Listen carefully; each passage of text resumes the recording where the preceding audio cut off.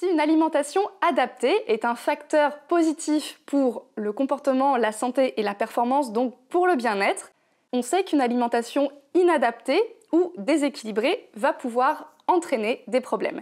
L'idée est de savoir où commencent ces problèmes et pour ça, il faut connaître le cheval, sa façon de s'alimenter, sa façon de digérer et les matières premières qu'il va consommer. Où commencent les problèmes? Généralement au niveau du comportement alimentaire. Le cheval est un herbivore non ruminant et il est fait pour une alimentation à base de fibres quasiment en continu. C'est-à-dire que sa façon de s'alimenter, ce pourquoi il est programmé génétiquement, c'est s'alimenter quasiment en continu. Or, on sait qu'aujourd'hui, notre cheval domestique eh bien sa part de fourrage consommé peut être variée.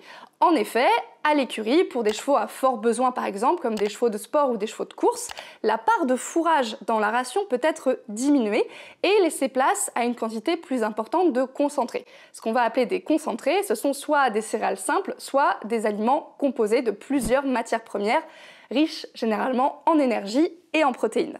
Et donc notre cheval, en ayant une part plus réduite de consommation de fourrage, peut avoir des problématiques de comportement, de comportements dits indésirables qui vont se développer, comme des stéréotypies. Donc ça, c'est notre première base. C'est le fourrage en quantité limitée va impacter, peut impacter négativement le comportement du cheval et la santé.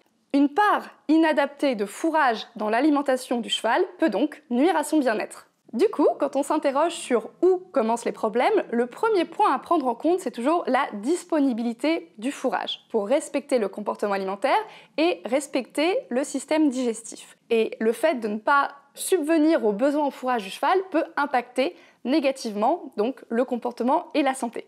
Mais il y a un autre point auquel il faut s'intéresser et où peuvent commencer les problèmes, c'est l'équilibre nutritionnel de la ration. Et on sait qu'une ration inadaptée ou déséquilibrée peut par exemple entraîner des retards de croissance, des problématiques ostéo-articulaires.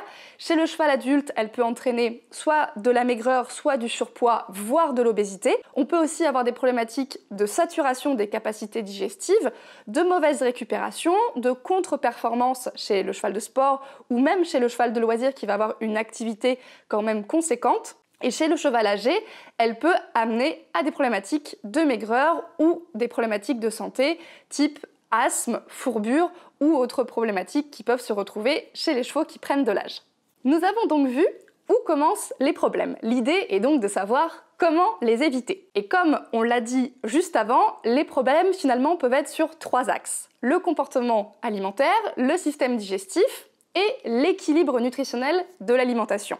Donc pour éviter les problèmes, l'idée et de prendre en compte les besoins comportementaux du cheval, ses besoins physiologiques et ses besoins nutritionnels. Et en additionnant ces trois composantes, c'est à ce moment-là qu'on va arriver à une alimentation adaptée qui va nous permettre d'éviter certaines problématiques de comportement au niveau de la santé ou de contre-performance. Donc notre objectif va être d'aller voir dans les différents programmes comment mettre en place cette alimentation adaptée toujours en pensant comportement, physiologie et besoins nutritionnels pour chaque tranche d'âge ou avec des problématiques comme le surpoids ou le fait d'avoir des forts besoins. Il y a quand même un dernier point important à signaler au niveau de l'alimentation, c'est que l'alimentation, c'est surtout savoir regarder, savoir observer. Et donc, il faut bien vous dire que vous devez toujours prendre en compte des connaissances théoriques plus vos observations pour arriver à la pratique, donc à ce que vous allez mettre en place. Et quand vous mettez quelque chose en pratique, il faut toujours regarder